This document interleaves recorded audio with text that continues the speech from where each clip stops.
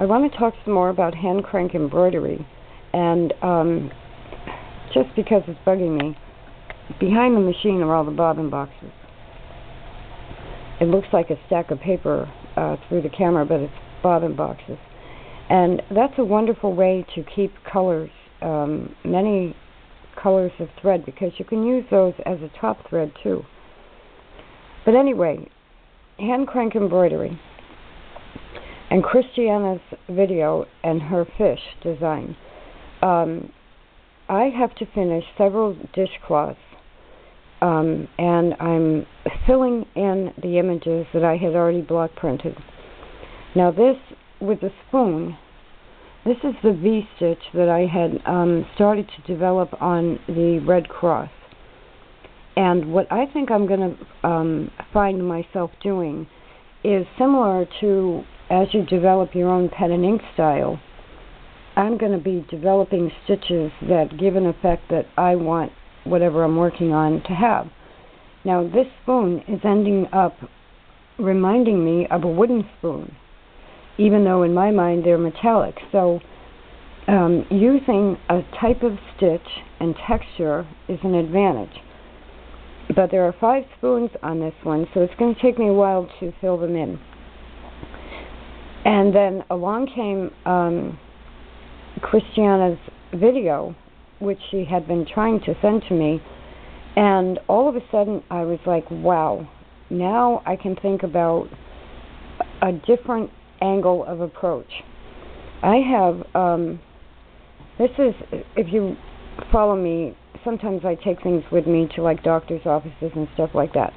This is a little tree, and I drew this on scrap fabric in colored pencil, and I then used a cording foot to put the trunk in, and now I have silk thread on a bobbin and a hand needle, and I was going to stick this in my pocket, just like that, with one of the most wonderful things in the world, a portable sewing kit with tiny scissors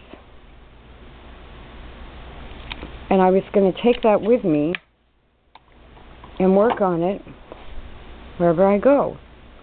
Well, now, even though I do have doctor's appointments coming up, now that I've seen Cristiana's video, I'm going to try this in hand crank embroidery instead. And this brings up an idea I have and a suggestion. I'm working on a pattern um, with that I built something out of squares, and they're not going to have batting in them. They're basically going to be um, two pieces of fabric stitched together around the edges, and then then you do something with them. But I can use those as pages as well. Um, so I'm going to, I have to pick out a size. I'm going to make some little squares that are two layers of fabric stitched around the edges. And those are going to be my pages for hand crank embroidery. And then, say when I get five or six of them together, I'm going to stitch them together on one end and make a book. And it's a wonderful way to save your own embroidery and show it off. Um, and it makes it just, a, a, you know, it'll go with your needle book. I have a needle book I made the same way. Well, now I'm going to make a little hand crank embroidery book. Now, I can't do that with bigger pieces that have other functions, but, and, and even if I do some of this by hand, which I don't think I'm going to do now, um, you can do it that way too. This is a great one. It's a vintage, um, I forget what it was called, but it's skinny and will fit in my pocket. I, I love sewing kits. I have several um, this is the tiniest.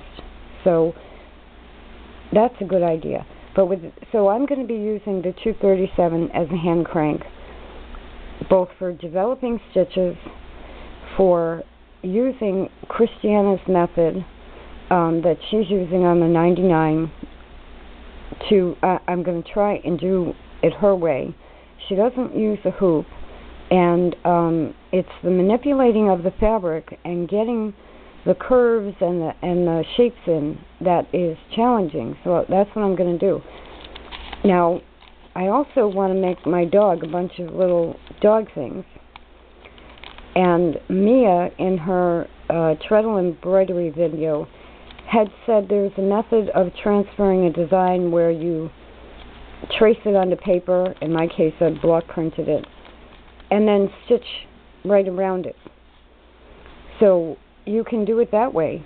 If you, um, but one thing about Cristiana, she doesn't have a drawing on there or a tracing or anything. She's cre- just creating, and um, I think essentially that would be the ultimate goal for all of us.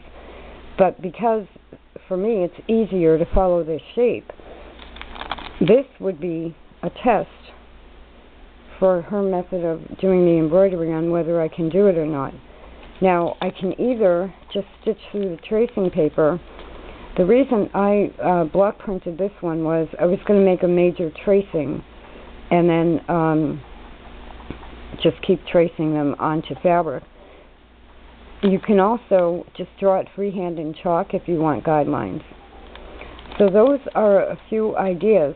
And when you get to something complicated, like a drawing in cotton, normally when I draw that, I mean, you see a green leaf and a pile of fluffy cotton.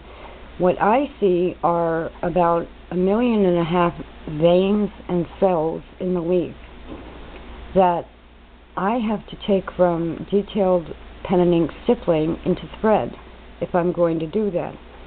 So then you start thinking about simplifying what you're really looking at.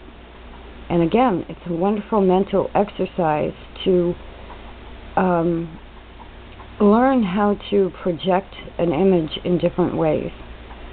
So um, it's all very inspiring, and um, I think it's helpful too, because if I make a little book of different embroidery attempts, even if they're not very good or um, you know, if they're not fine art or or whatever.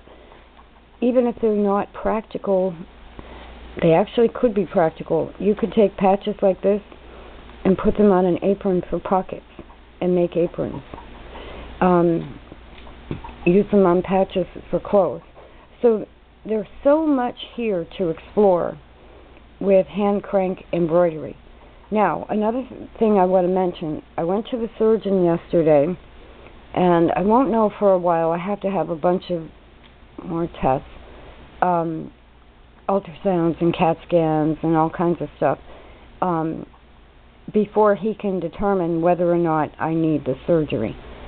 But what he said was exercise is good. Even though this is an artery issue, um, exercise is good. I can treadle, I can ride a bike, I can ride my exercise bike um, what happens is I start to do something and my leg either cramps up or, or gets very painful. And he said, so then that's when you stop. And you wait a while and you do it again.